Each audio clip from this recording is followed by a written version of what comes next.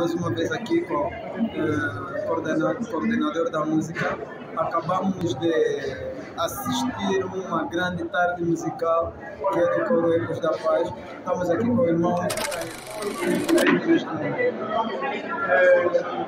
Este aqui é o nosso terceiro festival.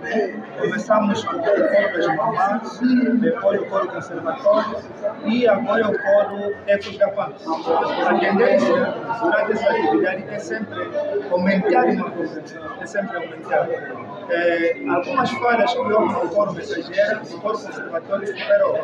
E a nossa luta era que as falhas também do Coro Conservatório, do Coro Ecos da Paz, superassem e conseguimos denotar isso, apesar de que houve grande participação, muitos coros de atividades não aconteceram, e os poucos que apareceram, graças a Deus, fizeram coisas e isso nos deixou muito feliz. E até aí podemos dizer que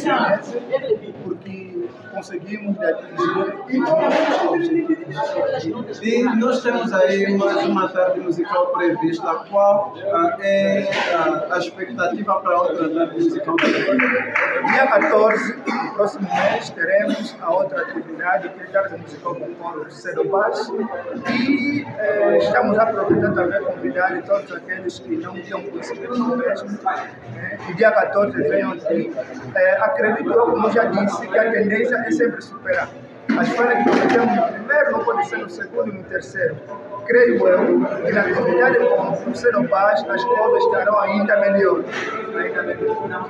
Ok, nós agradecemos e desejamos boa sorte à comissão organizadora.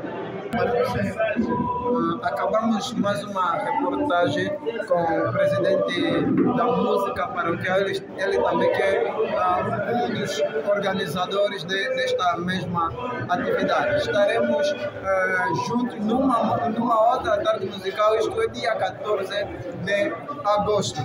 Pedimos que todos os irmãos possam a comparecer nesta mesma tarde musical e teu apoio é indispensável. Falou contigo, irmão Dongala Samuel, e nas câmeras está a irmã Maria Afonso. Boa noite.